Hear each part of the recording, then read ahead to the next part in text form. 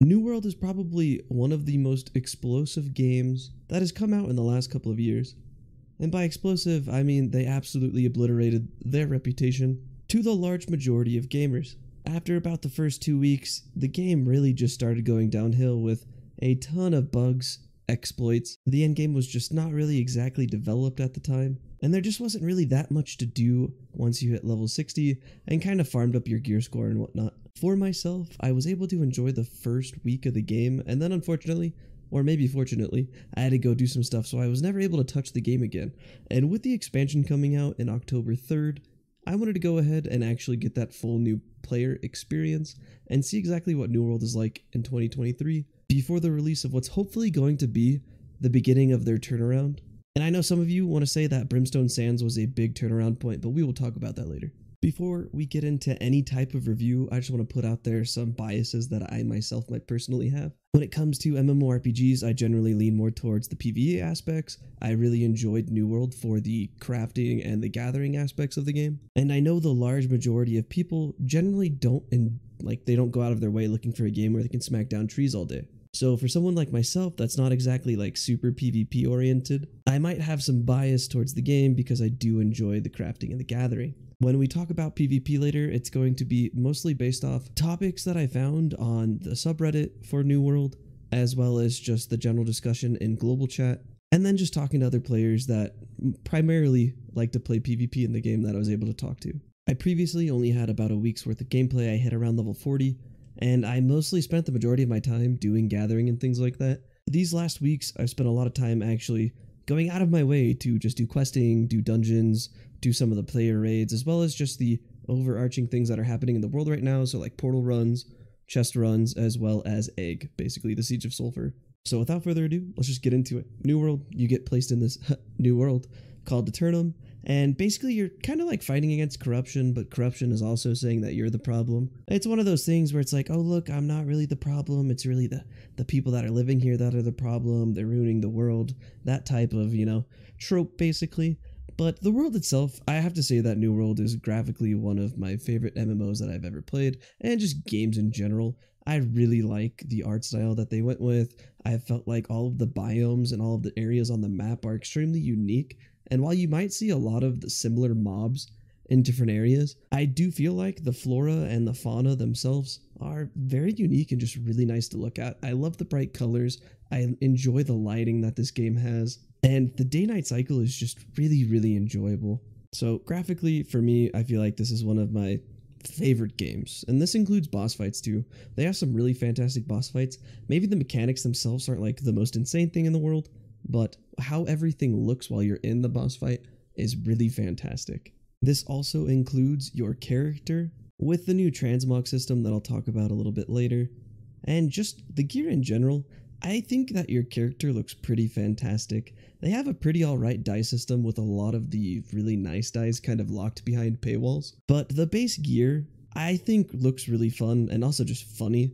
As you're leveling up, you'll run into where you're just kind of equipping the best next item. And as you level up and do quests, you know, you're going to get a ton of materials, a ton of different items, a lot of gear. And so you'll have like four different sets on basically at the same time, and you'll end up looking pretty stupid. But to me, it's in a good way. You look dumb, but it's funny.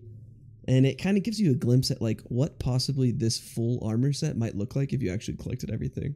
When it comes to the stories, the general just like quest system is pretty straightforward. I feel like in the beginning of the game, it's a lot of just like go here, do this, kill X enemies, search, you know, for this in like these crates and stuff like that. So nothing like too unique in regards to the types of quests that you're going to do. The storyline itself is pretty generic, you know, like you're here figuring out what the corruption's doing, why why is the corruption so terrible? The corruption is also talking to you, telling you like, "Oh, you know, I'm not really the problem, blah blah blah."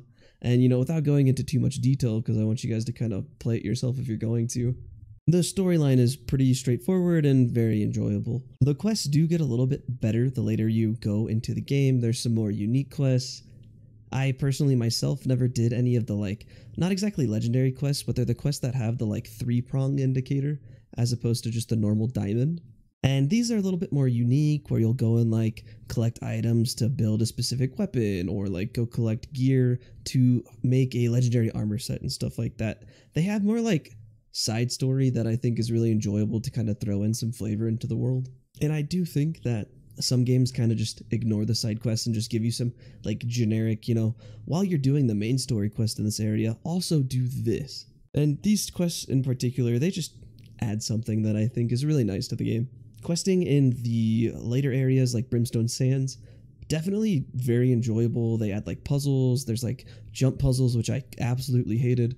While I do think that the climbing like mechanics in this game are pretty great and you can kind of do some really funny things, at the same time, man, was I missing a lot of jumps, and I had to redo things so often. Getting into the meat and potatoes of it, there are four trade skills that you're going to kind of go over, and this is just the overarching trade skill. There's more trade skills within these, but the four are crafting, refining, gathering, and casual. So casual is just music. You're able to play music and you can give buffs to people. It's a pretty fun little mini game that I think does add just like some random thing for you to do. Crafting obviously goes to, you know, making materials and putting them all together into either weapons, into tools, into armor, and things of that nature. Gathering and refining go together. Gathering is obviously just finding things in the overworld, whether it's mining, whether it's woodcutting, whether it's gathering, and just picking it all up, putting it in your bags, and having a great time. For me, gathering, refining, crafting, this is like my bread and butter. I love going out, gathering materials, I know for some people, and the majority of people, that's just like their least favorite part. So I feel like I'm able to fill a pretty nice, you know, spot in the marketplace to just actually enjoy going out and hitting a tree for three hours and then selling it all in the marketplace. They have a pretty simple leveling system when it comes to these trade skills. It goes from 0 to 200, and in the expansion, we're going to be going to 250. For all of the gathering, you'll have different tools that you're going to need to actually gather these things. You got a pickaxe, you got a hatchet, you have a skinning knife, and you have a harvesting sickle.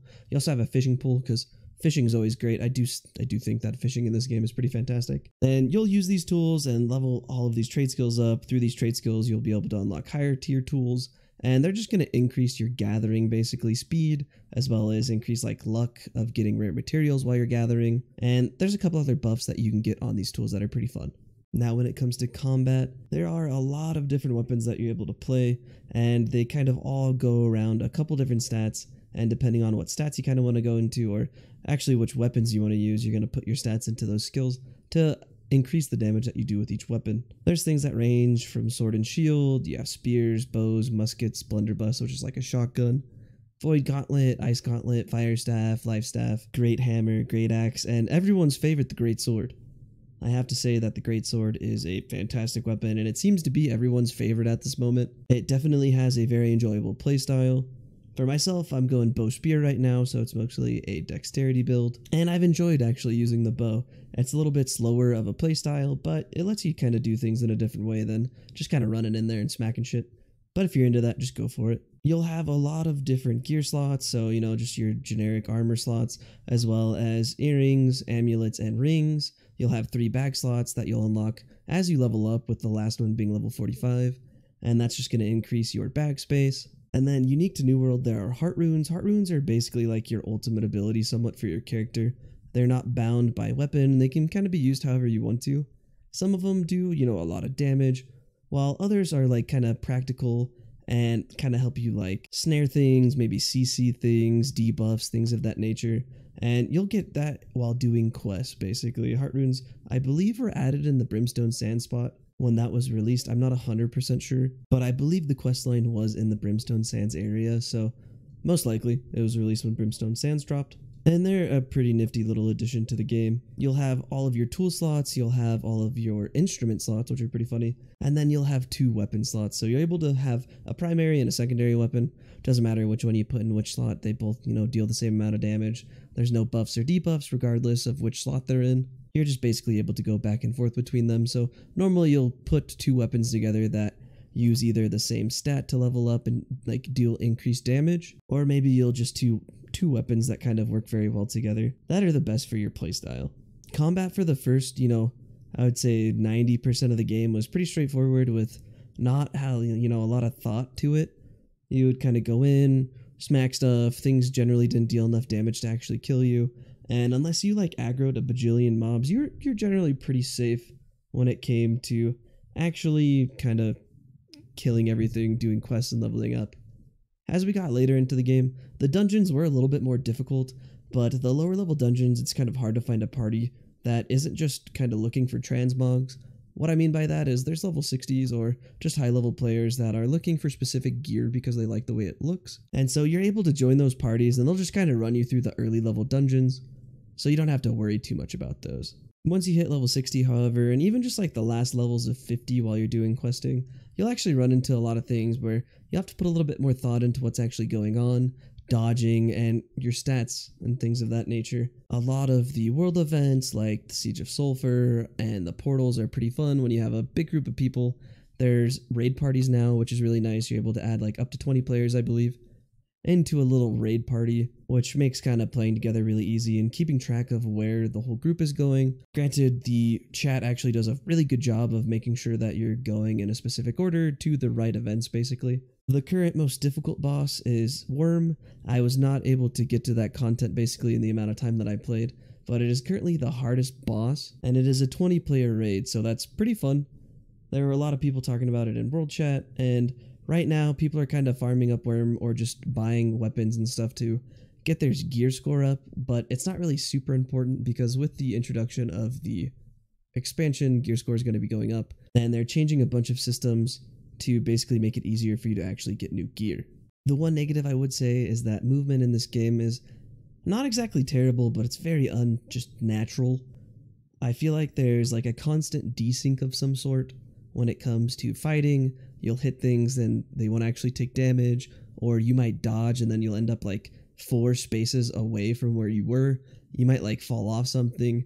Any elevation while you're fighting is a pain because it's really gonna hinder like actually hitting something or even dodging. And then just the generic movement is really odd looking. There is no sprint in this game, you're always going one speed, and it looks like you're going quickly, but you're really not going much faster than like a fast walk. But you're in like a full sprint animation when you're moving, and it just looks kind of wonky. It didn't really bother me too much, and with mounts coming in, it'll probably just matter even less. But hopefully, they're able to fix the combat up a little bit with this next expansion because the higher end and like the more effort that you put into it, the more thought you put into the combat, the more frustrated I could see players being. And I bet PvP is a little bit worse.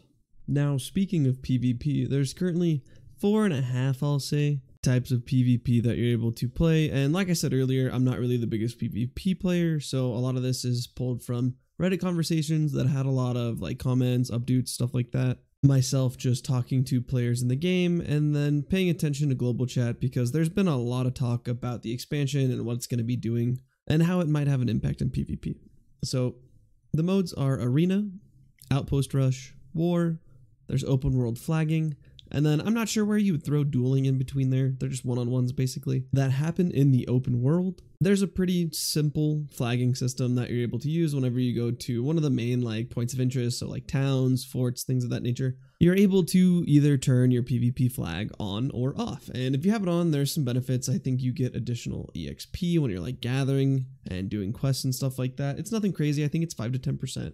There are 3v3 arenas that you can pretty much just pub into if you want to. There's also, you know, groups of dedicated players that do enjoy the arenas. Outpost Rush is 20v20. That kind of has a combination of PvP and PvE. You have to capture the other team's outposts, and it's basically just capture the flag. If you hold onto an outpost, you get buffs. And as you hold onto these outposts, you get points, and whoever gets a thousand points first wins.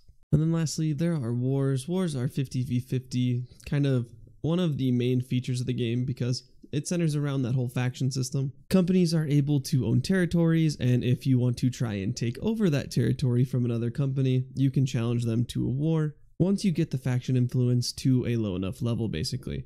War consists of capturing three rally points, breaking the fort gates, and taking the final capture point if you're on the attacking side, and if you're a defender, you have to hold out for 30 minutes and not give up at least the last point. In this war, there's a couple like auxiliary kind of, not weapons, but things that might give buffs or deal extra damage like cannons, repeaters, a fire dropper that, you know, drops fire on people. And if you're able to hold out, you know, you get to keep your territory. Otherwise, if the attacking team wins, they will be taking over your territory. Now, it doesn't seem like that within the last two years that the game has been out, that there have really been too many changes to PvP. And I would say it does seem like the large majority of players that are still playing the game, a lot of them are really interested in PvP and are pretty disappointed that there hasn't been a lot of updates or, you know, additional arenas and things of that nature when it comes to PvP. It does seem, however, that there are a lot of players that are somewhat optimistic to the changes that are being made with both gear score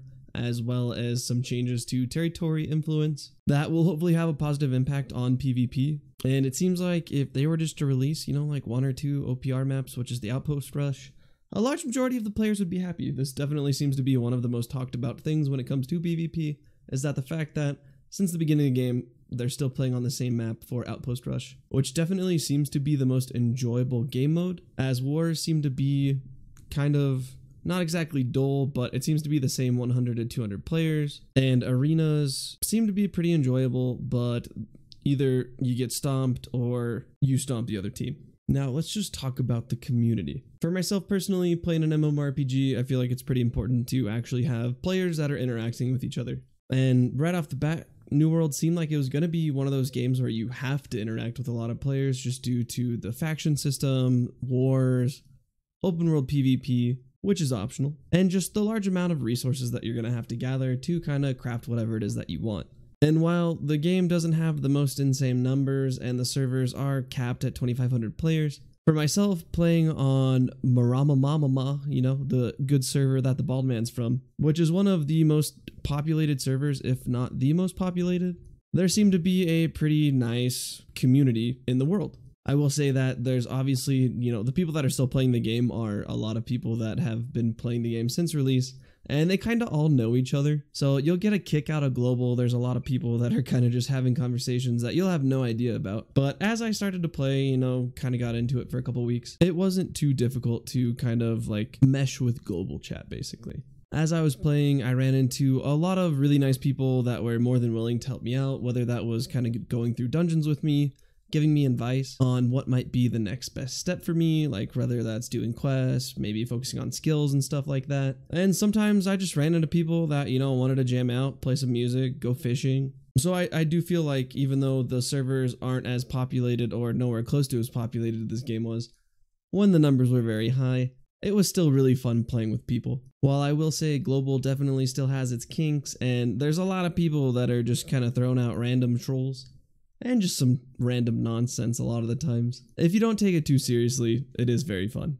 I ended up joining the Covenant, and unfortunately, we got absolutely obliterated after about two weeks of me playing on the server. And it doesn't really impact me that much because I don't really do too many PvP things. But it was really fun seeing everyone make fun of Yellow and basically saying that they don't exist. Which, for a portion of the time I was playing, we did not own anything.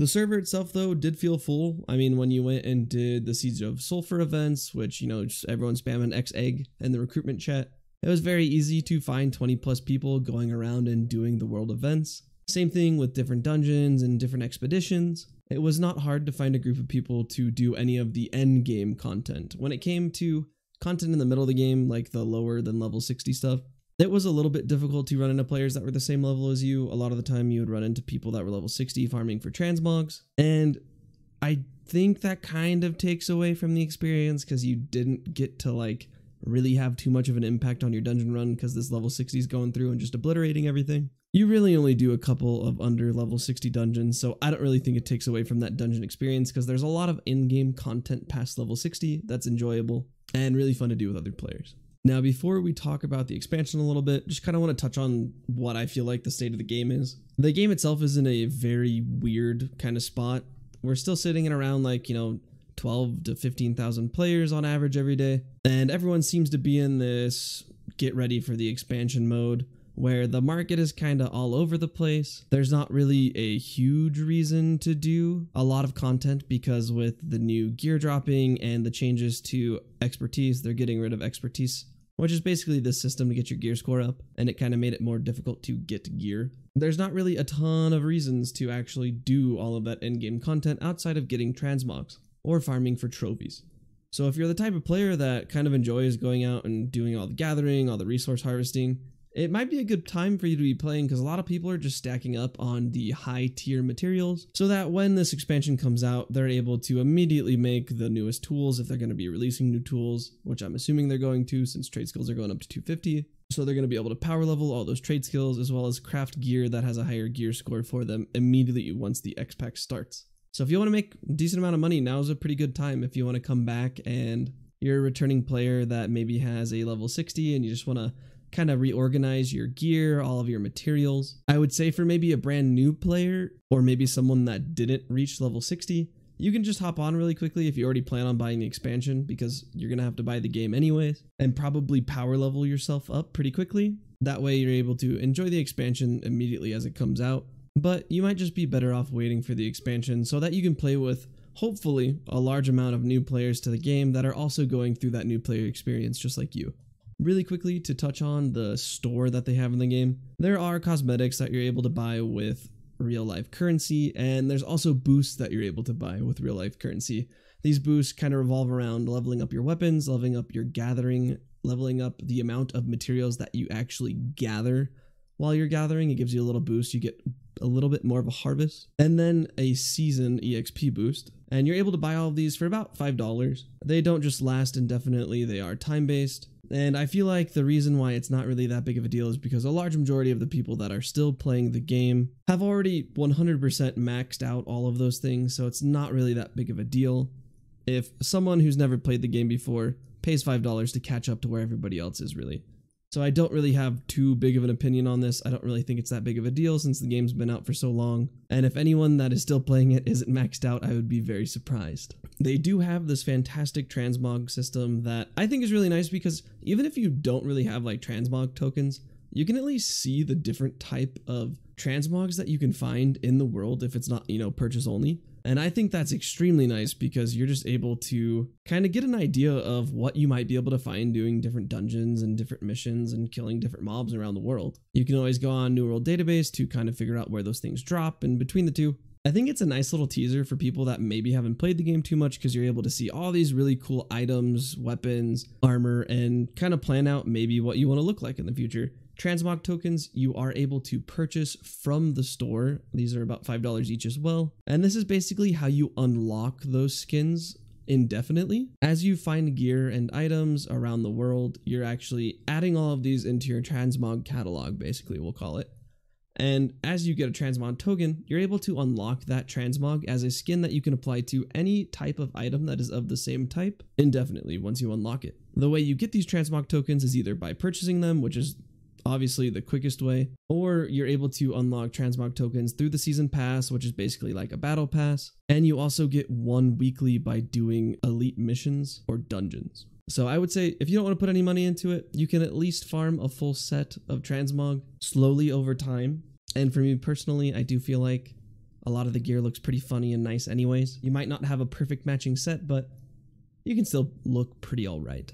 Alright, now getting to the expansion, Rise of the Angry Earth. This is going to be releasing on October 3rd of 2023, and it is going to be a paid expansion, which I know is a point of contention for a lot of people. Personally, for myself, the game's been in development for two years, and I know a lot of people are saying that all of the changes that they've made, as well as the additional content like Brimstone Sands, is what the game should have released like in the first place. And while I can understand that, it didn't. So they're going to have to be able to pay the employees somehow. And I know it's Amazon, they have more than enough money, but I don't want to take it out on the people that work there. So I don't really think $30 for a new expansion that's adding in a new zone, a new feature mounts, as well as new equipment, new weapons, and a bunch of other things is really that big of a deal.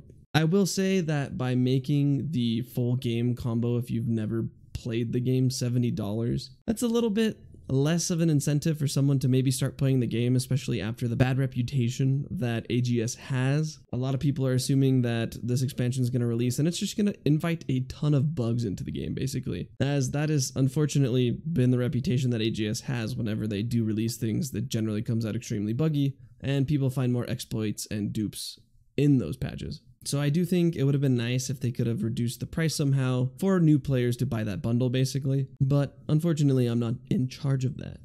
Now with this new expansion, they're going to be adding in a new old zone, which is New Light, and If you're a returning player or you play right now, obviously you'll know that New Light is not a new zone. They're just basically redoing the whole thing. It's been captured by the Angry Earth, and it's probably where we're going to play the majority of our time in this new expansion. Some people weren't too excited about this because they didn't really understand why they wouldn't just add a completely new zone. And I'm kind of on the same page there because a lot of people were looking for additional content, not in the sense where it's something that already exists in the world, but something that we could look forward to as completely brand new area that adds on to the already made map. Probably the biggest part of this whole expansion is the addition of mounts, which a lot of people are very excited for, but also a lot of people are very concerned about.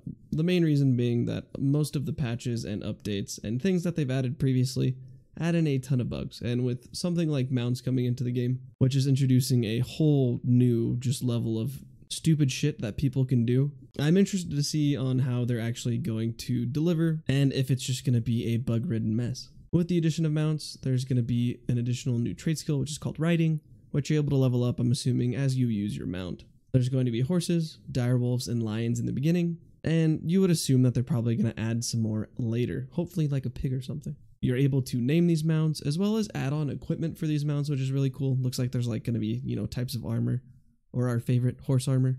But I'm pretty excited for this because I don't personally feel like mounts are 100% needed just because they've added so many new waypoints for you to fast travel for. But it's definitely going to make those somewhat annoying walks a little bit more enjoyable, and everybody enjoys mounts. They're also adding in a new weapon, which is going to be the flail. This is going to be a one-handed weapon that you can also use with a shield, and it looks like it's going to be a pretty decent, you know, secondary weapon for tanks and healers.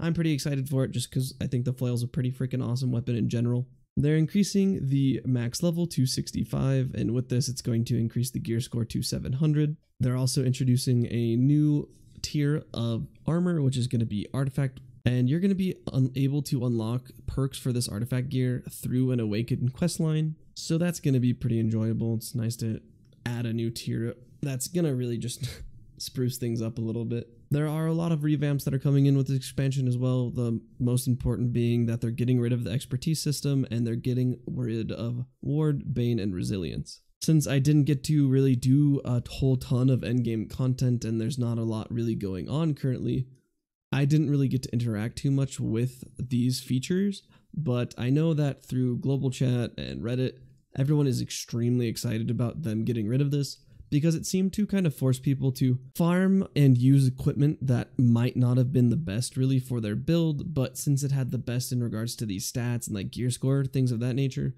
they were kind of forced to use this equipment. They're updating the main storylines for Great Cleave and Eden Grove, and then they're adding an additional expedition, some more heart runes, as well as some seasonal events like our favorite Mr. Turkey. Overall, I do hope that the expansion kind of delivers in a very good state.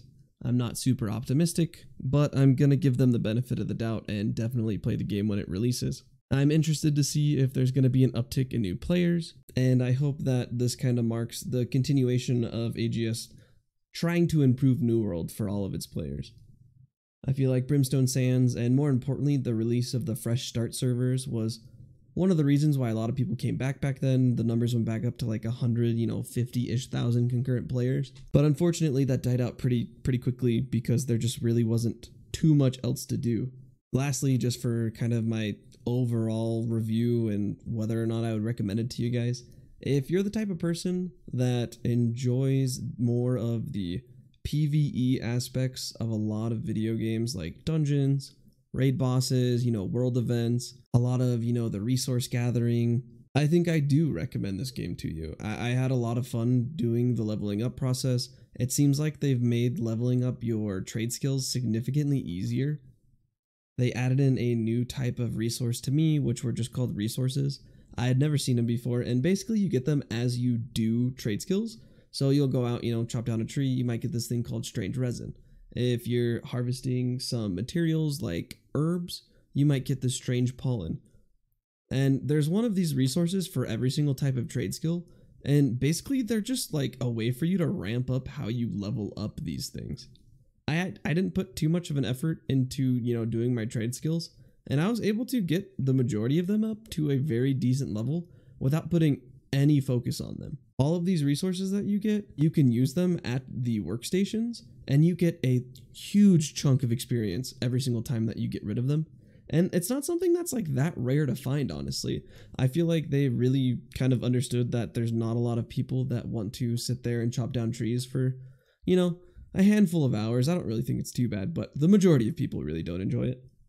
And they made the leveling up process significantly easier. I wasn't sure if it was just, you know, maybe they reduced the total EXP that you needed to level up, but it didn't really seem like it was all that bad. The leveling up system for your character is even easier. With guides, if you wanted to follow around, you know, one of those YouTube videos that help you kind of level up to level 60, there's people that can do it in like 15 hours.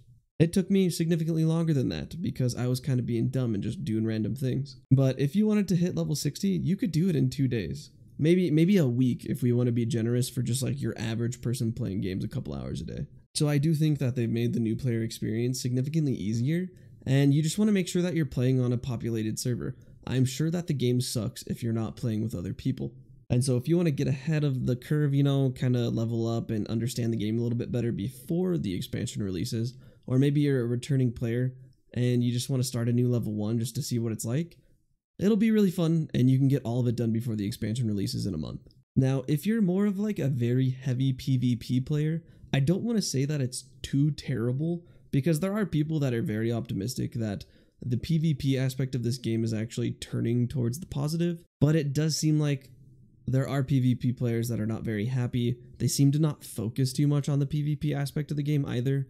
You can see this by Outpost Rush not having a new map since the existence and the beginning of this game. You would think that a game mode that seems pretty positively talked about would be receiving the majority of the updates for PvP and it just doesn't seem like they're really kind of focusing on it at all. They also haven't introduced a new game mode like, you know, 5v5 arenas as opposed to 3v3 arenas, which is something that I know was requested by a lot of different players, kind of all over the Reddit. So if you're looking for like a very intense PvP system, I probably would recommend waiting until the expansion comes out because that's going to add an, a bunch of just random nonsense into the game that is going to hopefully stir up the PvP aspect of the servers and again, you want to make sure that you're playing on a populated server so that you're able to find those PvP game modes and you're not stuck in a queue for, you know, a long period of time. If you're one of the players that, you know, played it for a little bit and kind of got over it, got bored, if your reasoning for kind of not enjoying the game was because of the PvP, I don't really think too much has changed there. So I would wait for the expansion. If you're someone that just stopped playing it because maybe the server started dying or your just server died and you know you didn't really want to start on a new server with like a new company and all of that, I, I would recommend coming back and playing the game and seeing what the game is like. I do think that the game is fun. I do think that New World has some pretty amazing aspects of it that aren't found in a lot of other games. And I do think that if you want to wait maybe a week after the expansion releases to kind of get a general feel of what the players are thinking, that is going to be your best time to make a decision on whether or not to come back. Because if AGS keeps up with how well they did with the BGS expansion, hopefully this, you know, first expansion is just amazing and it's really everything that everyone is wanting and it's a step in the right direction. But if it's bad, trust me, you're going to know it's bad within like the first like six hours. I'm sure someone's going to be duping mounts or something. So you'll know if it's bad and you'll know if you need to just be like, okay, you know, New World's on, you know, we're gonna we're gonna ignore that for another six to six months to a year. But I think you'll know pretty quickly if you want to play it or not. If you guys are enjoying this more like long form type uh, video that is packed with more information because I spend a lot more time doing a lot of gameplay and just kind of figuring out what the game is about. Let me know down below. I really appreciate all the support recently, and I hope that this content is kind of what you're looking for. If you guys have games that you want to recommend that I go, you know, spend 100 hours in and see what it's like, let me know down below. I'll pin a comment. You guys can add in your suggestions there, and you know, I'll maybe pick something out of that to do my next video on.